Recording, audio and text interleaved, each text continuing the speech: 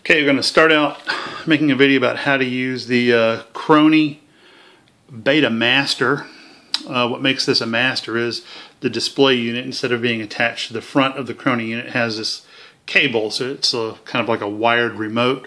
The first thing I want to talk about is things that I've seen on other places online um, about lighting. You can't use fluorescent lights, and I have this one incandescent fixture that one bulb is out, but still that wasn't enough light to use.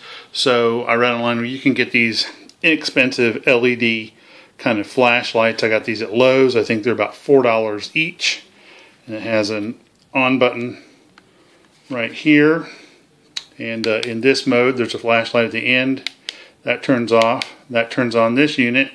And then um, I put some magnets. I bought some magnets while I was at Lowe's so that just attaches like that and it pops right down on the Chrony.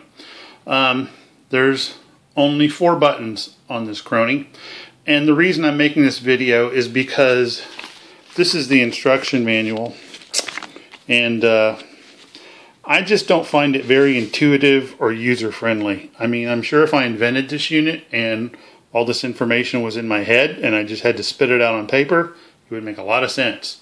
But this is very hard for me to follow. So I'm trying to learn how to do it, and I'm going to make a video to show y'all how to do it as I understand it.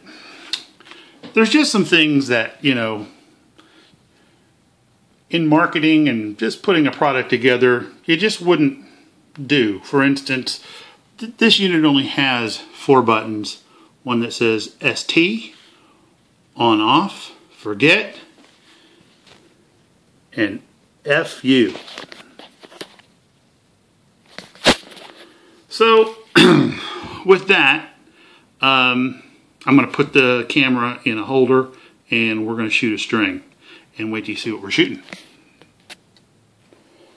Okay, so our projectile today will be a rubber band because my pellet gun is still in the box waiting to get shipped back for being sick. So anyway, we're going to turn the Chrony on. We're going to pretend it's brand new and you're using it for the first time. Alright, so we're using it for the first time and we're going to shoot um, in this area.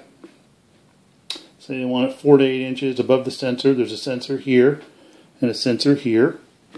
And uh, when you see the BE, if there's no period, in between those, that means you're set up for feet per second. If there was a period in between there, you'd be at meters per second. And uh, the manual tells you how to adjust that. That is fairly clear. But with the two jump ropes going on either side and the BE, that means we're ready to fire. Now, I can't necessarily see this from this position. We're going to get some misfires, some errors. That's okay. Uh, we're going to watch that. So we shoot 10 shot strings. So here's 10 shots. And you'll notice with the rubber band, even if I wrap around the pole, it works.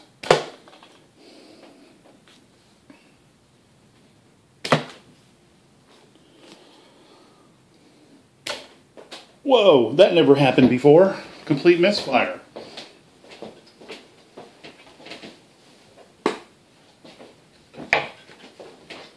I did all this practicing before I made this video too. Man, but I moved my chair. So uh, that's my excuse. All right. So you'll see as I'm firing, there's a number there. Then as soon as the rubber band goes over, there's error 2. And I move this display, so I move myself out of position. Um, it's going to show us the shot that we've done. Error 3.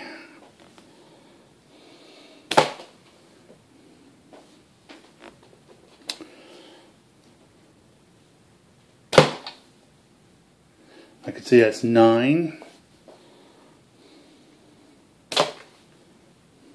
10. So LN comes up. They say last number, but it really stands for linear mode. See, this manual is just crazy. Anyway, now we can press the FU button, which really means function, um, string number 1. It's the first string we shot. Our low, 34.19 feet per second. Our high, 62.61 feet per second. Our average, it looks like AU or Auburn University, but it's really average, 45.79 feet per second. E5 is not a pri uh, private in the Army, that's actually ES for extreme spread, which is 28.42 feet per second. SD for standard deviation, 9.43. Uh, RO is how many shots we have taken since we turned the unit on. We've taken 10 shots. Notice none of the errors counted. So when we hit an error, it didn't count, didn't mess up. We don't have to start the string over. That's really cool. It adjusts.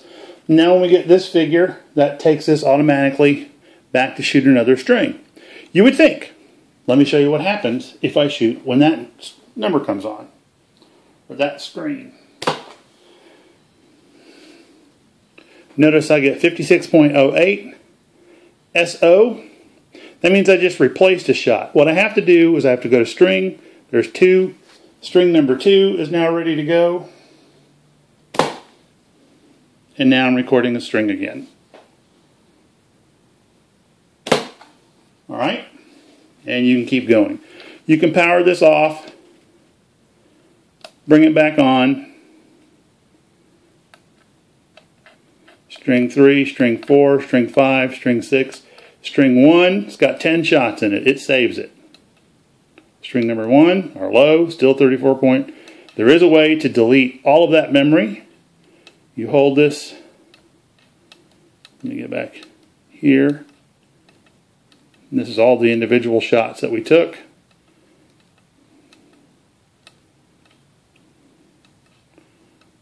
Hold it on high press once, twice, hold,